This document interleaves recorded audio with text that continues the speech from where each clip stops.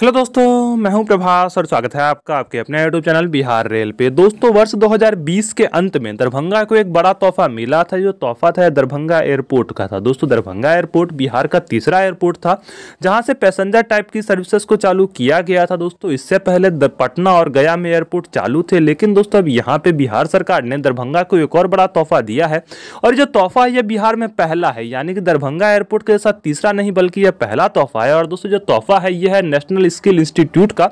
दोस्तों, आज से पहले बिहार में कभी भी नेशनल स्किल इंस्टीट्यूट की स्थापना नहीं हुई और यहाँ पे जो पहला नेशनल स्किल इंस्टीट्यूट बनेगा, वो दरभंगा में ही बनेगा। दोस्तों, इसके लिए दरभंगा में कुल सात एकड़ ज़मीन को चिन्हित किया गया है, जो जहाँ पे नेशनल स्किल इंस्टीट्यूट बनाया जाएगा। और यहाँ पे छात्रों और छात्राओं की कुल संख्या को भी सीमित कर दिया गया है और दोस्तों, बहुत जल्द इस पे काम भी शुरू किया जाएगा। दोस्तों, इस बारे में बिहार सरकार के श्रम संसाधन मंत्री जी ने जो बयान दिया है, उसके मुताबिक सरकार का फोकस युवाओं के कौशल विकास पर है। नेशनल स्किल इंस्टीट्यूट दरभंगा में खोलने का निर्णय हुआ है। इसके लिए ज़मीन भी चिन्हित कर ली गई है। ये ये बयान दिया है जीवेश कुमार जी ने, जो कि बिहार सरकार के श्रम संसाधन मंत्री हैं। दोस्तों, ये सचमुच जो तोहफा है। दरभंगा के लिए बहुत बड़ा है और ये दरभंगा के डेवलपमेंट के लिए भी बहुत बड़ा तोहफा है। दोस्तों, इस बारे में आपकी क्या राय है?